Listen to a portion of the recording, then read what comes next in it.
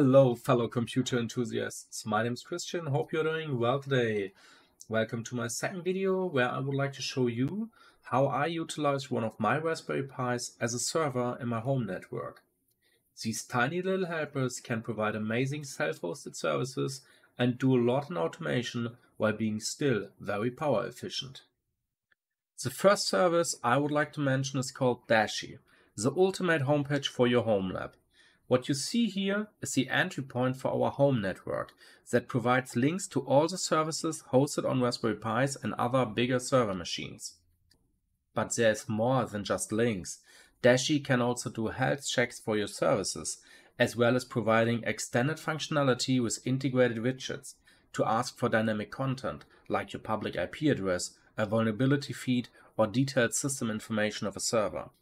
It comes with a lot of themes to fit your aesthetic likings and can be customized with ease using the integrated what you see is what you get editor or directly in the underlying YAML file as we used to do it within the GuiViNet.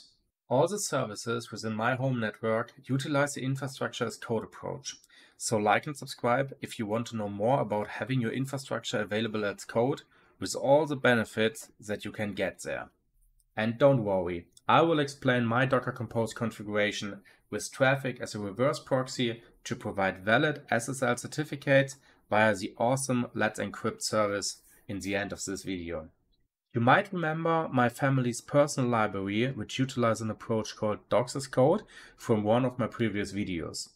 It is a place where my family and I store all the personal information relevant to us, like a very small and very specific version of Wikipedia. In general, this is just a Docker container running an HTTP server like Nginx or Apache to serve a static web page that has been automatically generated from restructured text and markdown files stored in a GitLab repository.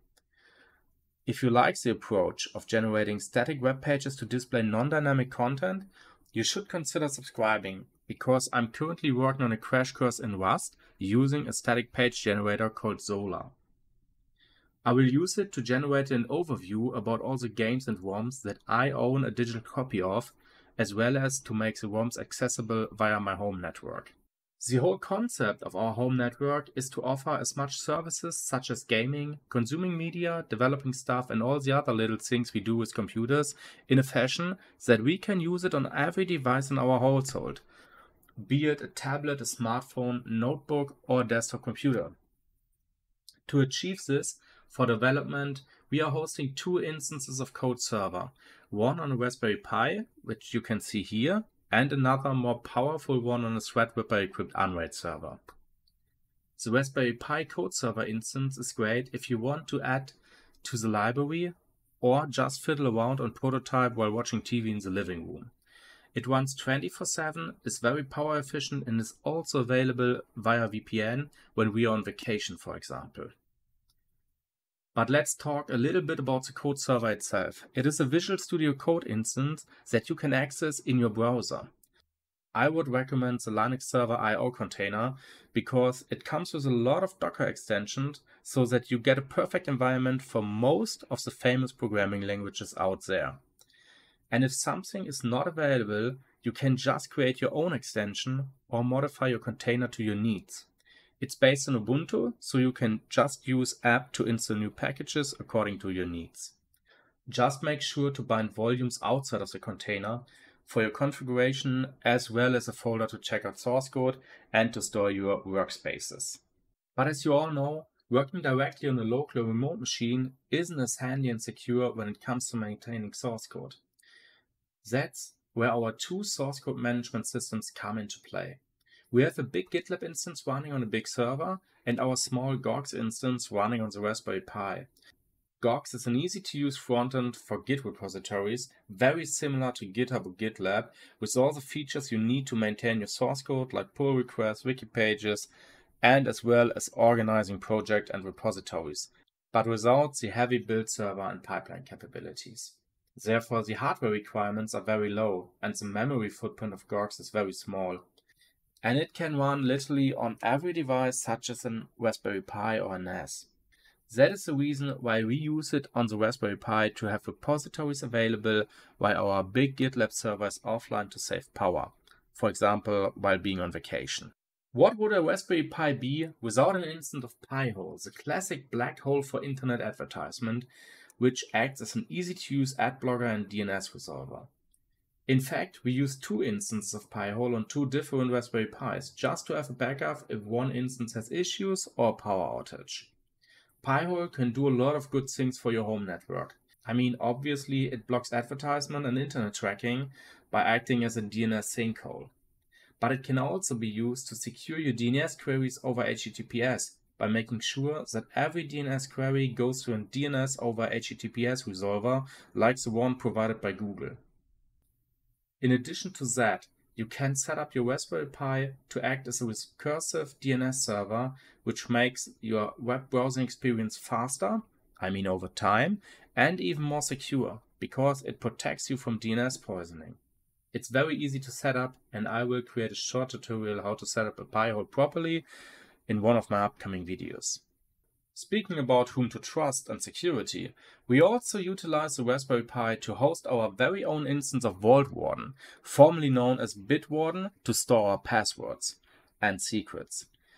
Vaultwarden is a great place to store all your secrets within your local network and makes them available to any client, whether it be a browser-based one like your desktop PC or a smartphone or tablet. A side effect of self-hosting the service is that you save a little money each month by not being forced to pay for a cloud service that offers the same functionality. Vaultwarden can also be used to generate long and secure random passwords for every service you use in the internet, to make sure that you aren't using the same password for every account, so that not all your online activities get compromised in the case that one of your accounts gets leaked or hacked in the internet. In our container-based setup, it's important to have a backup mechanism for the database in place so that you don't accidentally lose your passwords while updating the container. Keep that in mind, please. The next service I would like to introduce is Sshwifty, which is a web SSH and telnet client that is great to connect to our servers.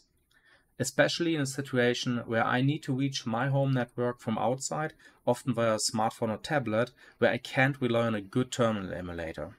There's not much to say about Sshwifty. It's fast, reliable, and it can store session and server information and save me a lot of time while fixing stuff on the Raspberry Pis and servers via SSH while being on vacation, for example. Even if I use infrastructure as code and I'm used to work with a command line interface, it's nice to have at least one running instance of a service called Portainer. The main reason is to visualize all the container-based services within our home network, whether they be running on a Raspberry Pi or distributed on other servers or devices. With a small agent running on every Docker host on our home network, we get access to every container in our network. I mainly use the service to check whether I have unused images, volumes, or networks from previous experiments and to clean up those Docker hosts from time to time. But it's also great to have a what you see is what you get editor to spin up new Docker containers and services. On our Raspberry Pis as well as our Unraid servers, we host an instance of RabbitMQ, which is the most widely deployed open source message broker. In our home network, we need a message broker for our own projects, like the Aquanaut bots that we have developed and that use asynchronous messaging to communicate across different devices of the project. If you want to know more about robots that you can build with the Raspberry Pi, for example, make sure to like and subscribe because I will feature our bots in one of the upcoming videos. Beside our own projects, a message broker like RabbitMQ is also helpful if you want to provide access to your IoT devices without the provided proprietary applications, because most of these devices are utilizing a message mechanism that you can bypass. And the good thing, RabbitMQ comes with an easy to use web interface, which makes maintenance and also debugging of queues and the asynchronous communication much easier. When it comes to home automation within your home network or with your IoT devices, Node-RED is my favorite choice to go. It's an easy to learn programming tool that helps wiring together hardware devices, APIs, and cloud services with ease. In our home network, it takes care of generating alerts as well as turning on the lights when our surveillance system detects motion while we are not at home. but there are plenty other use cases that you can easily implement with Node-RED, so just give it a try and have a look. Home Assist is amazing when it comes to IoT and service integration into a simple dashboard.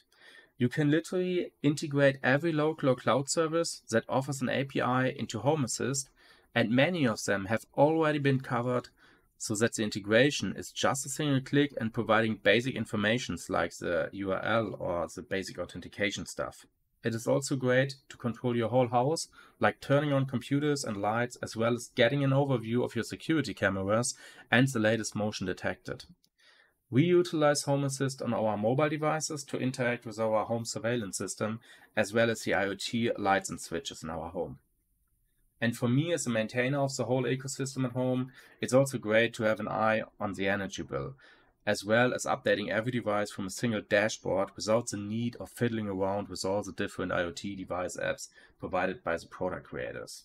With Watchtower running as a container on the Raspberry Pis, we ensure to always have the latest version of our containerized applications running. Watchtower will pull down new images, gracefully shut down our existing containers, and restart with the same options that were used to deploy them initially.